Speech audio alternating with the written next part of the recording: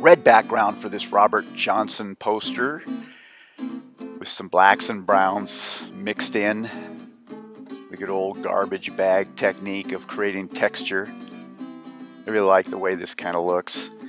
Four templates for this one because I knew that I was going to be doing a lot of the detail work with airbrush and pen the tools, things like that. So I just needed to block out the colors.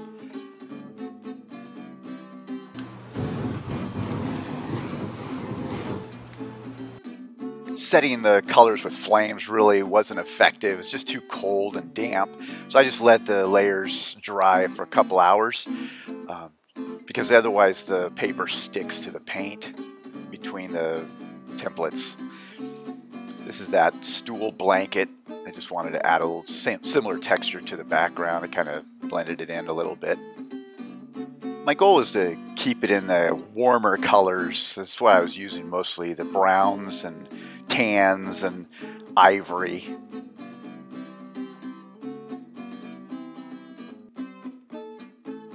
So rather than using white, I used ivory for things like the shirt and the handkerchief and the tuning knobs and even teeth and eyes. I used the ivory just to kind of keep the whole thing this kind of warm look. There's uh, the eyes and the teeth.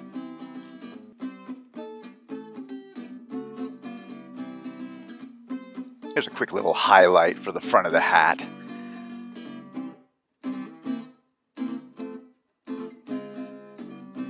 Here's that glitter blast that's fun to use for the tie stripes. It really pops in person, especially in the sun.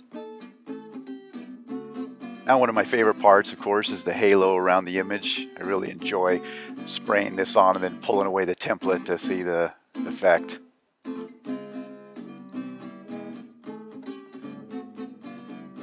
Time for some highlighting now with one-shot lettering enamel white reduced with turpentine using my Iwata Eclipse airbrush and probably about 60 pounds worth of air pressure.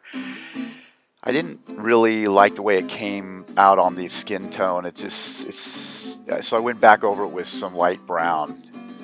Looking at the photo reference studio shot, it almost looks like he was just blasted with some kind of light source straight on you can see there's not even any shadow uh, below his right foot. There is a colorized version of this that looks pretty cool. Looks like it's being used for different publishing purposes. Also looks like it may have been done digitally, but I'm not sure.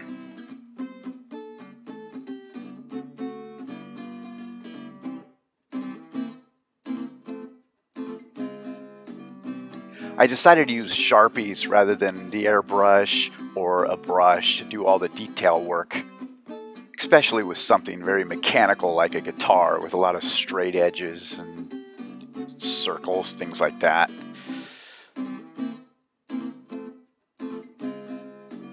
Here I'm using the template fretboard to line up my frets and strings and a silver Sharpie.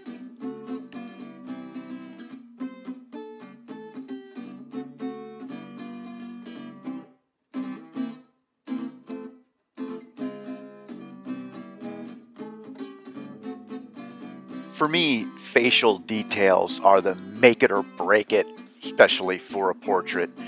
I really like to get eh, this as accurate as I possibly can.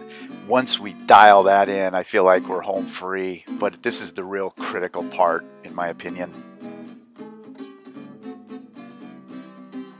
The Robert Johnson trademark long, agile fingers.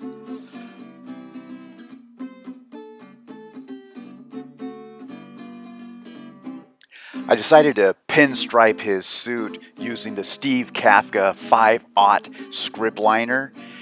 This was a lot of fun to just flow right through all the folds of the clothing. It really worked out well.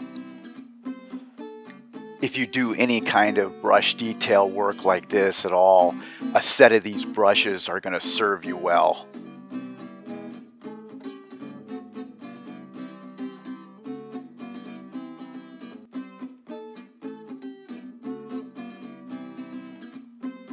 Low light and shadow time is one of my favorites. This is where the whole thing just starts to really come to life and start to breathe. I just love the way this really brings out the depth and highlights of the image.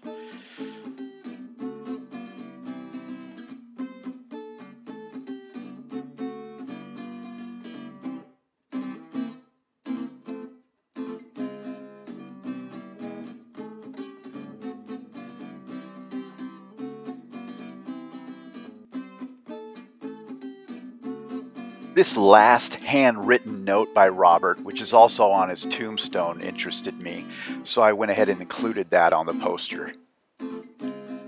It took a long time to recreate this. I wanted to try to be as true to the um, note as I could be with the detail brush, uh, but it proved to be uh, take a long time to complete.